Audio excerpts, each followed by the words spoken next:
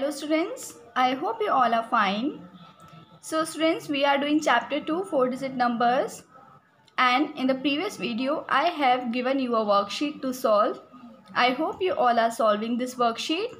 We will discuss this worksheet soon.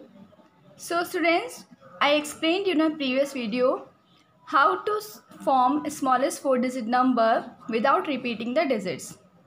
We have given a separate 4 digits we made a smallest four digit number. So how we made a smallest four digit number? We arrange these digits in a ascending order. Ascending order means students smallest to greatest. We arrange these number from smallest to greatest. Same we did for this, these numbers. But when we have given a 0 in a number, so we will arrange smallest in a smallest four digit number we will arrange 0 0 after the smallest number. So today I am going to explain you write the greatest 4 digit number without repeating the digits from the following 4 digits. So students today we will learn how to form greatest 4 digit number but without repeating the digits. We are not allowing to repeat a digit.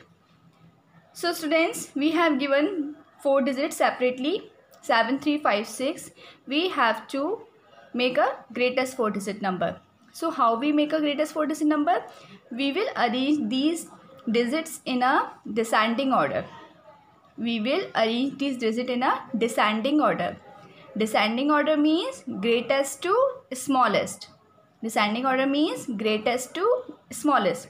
Because we are forming greatest four digit number so first we will write greatest number and in the end we will write smallest number. So students find out which number is greatest in this all. 7 is greatest in this all. Then we write 7. Then which number will come? 6. Then 5 and in the end we will write smallest number it means 3.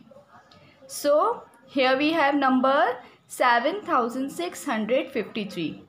So with using these four digits we make the greatest four digit number but without repeating the digits.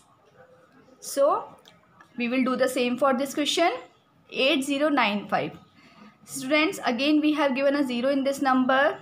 So what was the condition for this when we arrange this number in a smallest 4 digit number. So when we have given a 0 in this number so we arrange 0 after smallest digit. But in the greatest 4 digit number when we make a greatest four digit number and we have a given a 0 so we will place 0 in the end. So we will write 0 in the end. So first we will write the greatest number. It means we will compare these three numbers 8 9 5 which number is greatest? 9 so we will write 9 first then 8 then 5 and in the end we will write 0 so here we have number 9850 so here we have number 9850. So what was the condition for 0? If we have given a 0, so we will place 0 in the end. So students, I hope this is clear to you. When we make is when we have to make a smallest 4 digit, smallest 5 digit, smallest 6 digit. Many eh, you have given us many digits. So what you will do? You will arrange these numbers in a ascending order when you have to make a smallest four digit number. And when you have a given a when you have to make a greatest four digit number you will arrange numbers uh, digits in a descending order. Descending order means greatest to smallest. I hope this is clear to you. We'll meet you tomorrow. Thank you. Have a nice day